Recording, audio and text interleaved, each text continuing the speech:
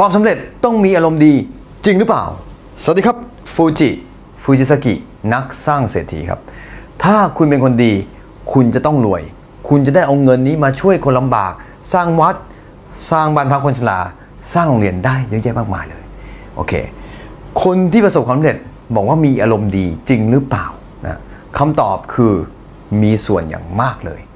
ยกตัวอย่างนะครับ สมมติว่านะฮะเราเนี่ยอยากจะท่องภาษาอังกฤษนะครับ ท่องภาษาอังกฤษอยู่เนี่ยนะฮะเสร็จแล้วมีเพื่อนชวนเราไปกินข้าวกินเลี้ยงนะฮะเราต้องบังคับอารมณ์เรา เพื่อนบอก เฮ้ย วันนี้วันเกิด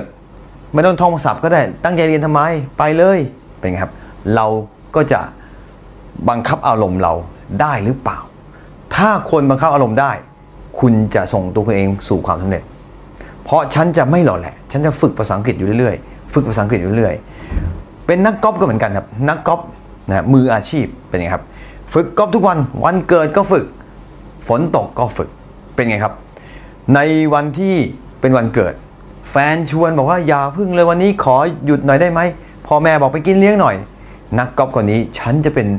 มืออาชีพ ฉันจะไม่หยุด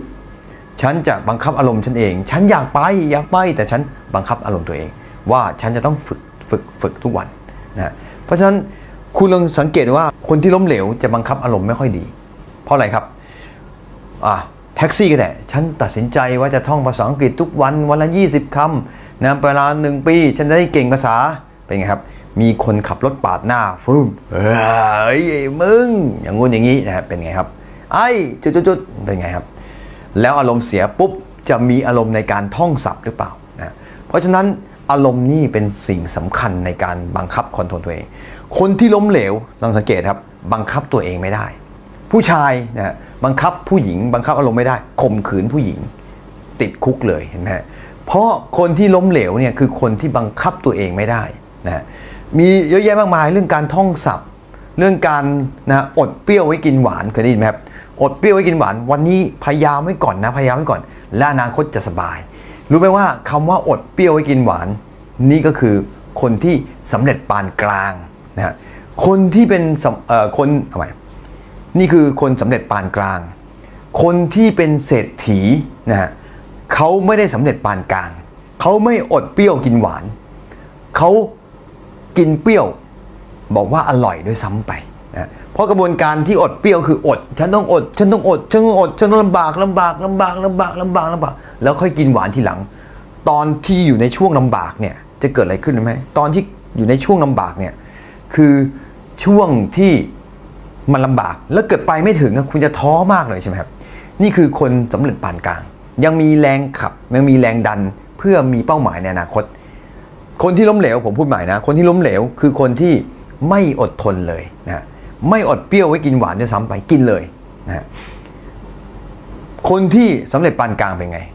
อดเปรี้ยวไว้กินหวาน เอาไว้รอไว้หน่อยนะรอไว้หน่อยนะเกิดไปถึงเป้าหมายแล้วไม่มีของกินนะทำไง คุณจะเหนื่อย คุณจะท้อมากเลย แต่คนที่สำเร็จคือคนที่กินเปรี้ยวแล้วบอกอร่อยนะฮะแล้วกินหวานก็อร่อย หมายถึงอะไร หมายถึงว่าขั้นตอนก่อนที่จะถึงความสำเร็จเขาสนุกกับกระบวนการทุกอย่างเลย เพราะฉะนั้นถึงไม่สำเร็จเขาก็สนุก นะดังนั้นเราต้องสนุกกับกระบวนการนี้ก็คือการใช้อารมณ์ในการบังคับให้ตัวเองสู่ความสำเร็จ คนสำเร็จ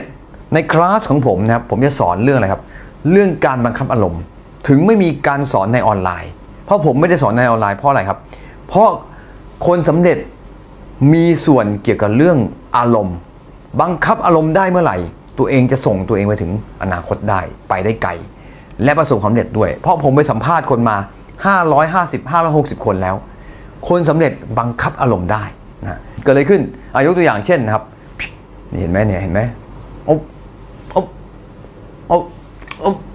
โอ้อบมาอีกแล้วอืม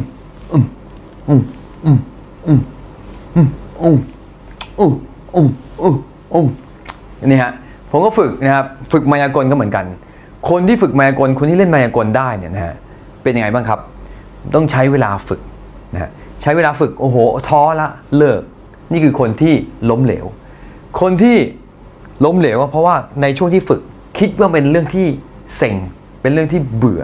แต่คนสำเร็จระหว่างที่ฝึกเนี่ยมันสนุกมากเลยอะ